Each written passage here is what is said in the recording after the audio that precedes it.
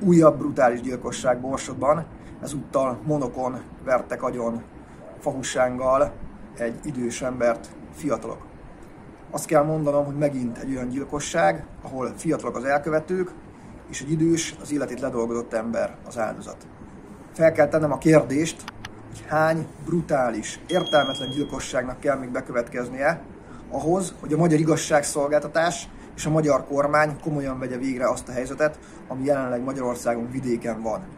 Ma a Mi Hazánk mozgalom az egyetlen olyan politikai erő, amely kimeri mondani, hogy Magyarországon vannak nógózónák, és ezekben a nógózónákban kialakult egy olyan gettókultúra, amelyben a társadalmi hierarchiának az alapját nem a tudást jelenti, hanem az erő, és ahol nagyon sokszor a problémákat nem párbeszéddel, hanem erőszakkal oldják meg.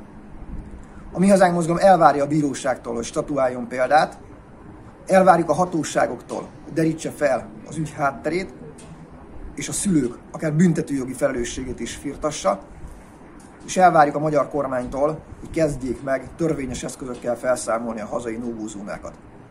A Mi Hazánk mozgalomnak megvan a programja arra, hogy hogyan kell törvényesen felszámolni a nógózónákat, mert azt gondoljuk, hogy Magyarország előtt két út áll. Az egyik, vagy az állam törvények és hatóságok segítségével felszámolja a nógózónákat, a másik lehetőség, hogy a nógózónák fogják felszámolni Magyarországot.